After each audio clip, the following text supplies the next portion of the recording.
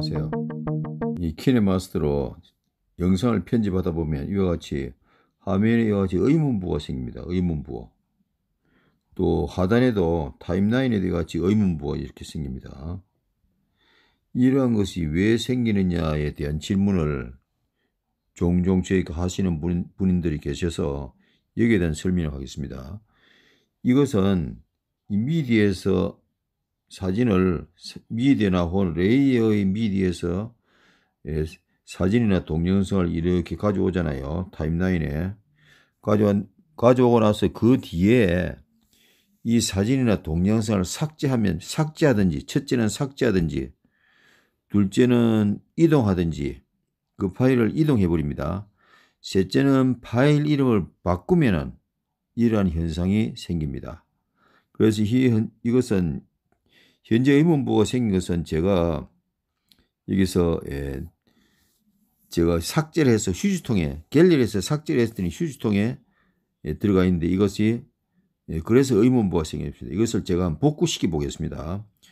자 여기서 예, 스마트폰의 제일 저기 저 최신 앱 최근 앱 실행 아이콘 있죠. 이걸 터치하면은 제가 여기서 이, 이 갤러리로 가겠습니다. 갤러리로 왔습니다.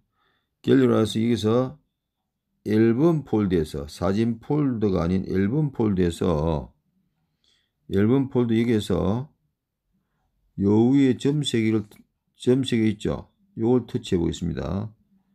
툭 터치하면은 요 아래로 내려가면 휴지통이 있죠. 휴지통이 제가 아까 삭제 갤러리에서 삭제했다고 했죠. 그래서 휴지통을 터치했습니다. 그러면 삭제한 것이 여기에 이것과 이것과 이 세 개를 제가 삭제했어요. 그리고 다시 복구시켜 보겠어요.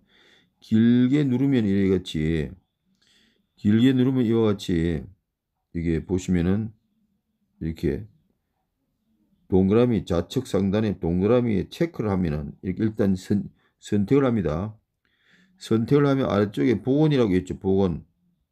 이 복원을 터치하면은 이게 제가 원래 이세 이세 영상을 카메라에서 제가 삭제를 했거든요. 그래서 복원을 눌러서 복원시켜 보겠습니다.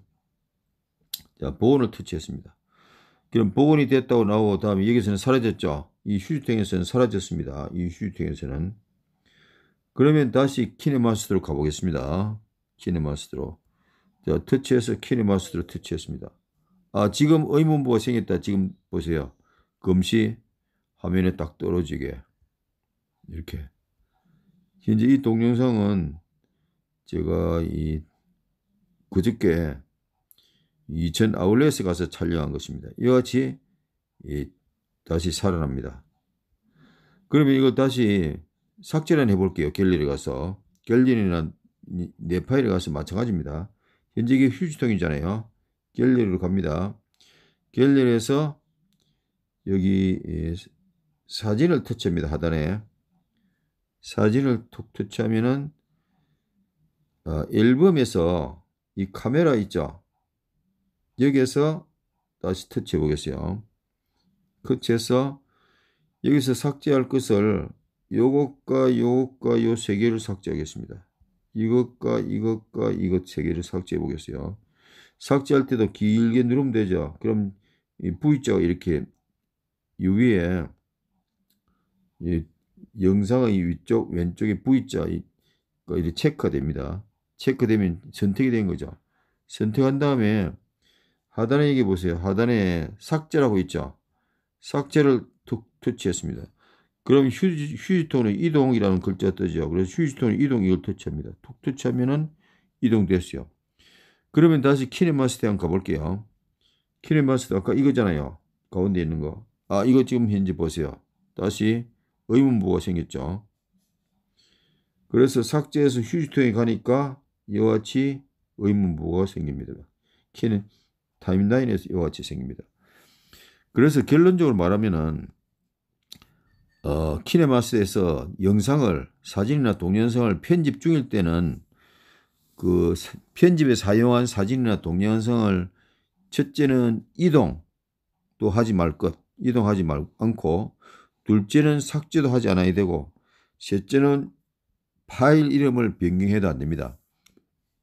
그러한 것은 예, 삭제, 이동, 파일 이름 변경은 예, 갤리에서도 할 수 있고 내 파일에서도 할 수 있겠죠. 그래서 갤리나 내 파일에서 삭제, 이동, 변경을 하지 않으면 여하튼 의문 부호는 생기지 않습니다. 그래서 이런 의문 부호가 생겼을 때는 여러분들이 그러한 삭제, 이동, 변경을 했기 때문이니까 앞으로는 그러한 점을 참작해서 키네마스터 편집에 활용하기 바랍니다. 이상입니다.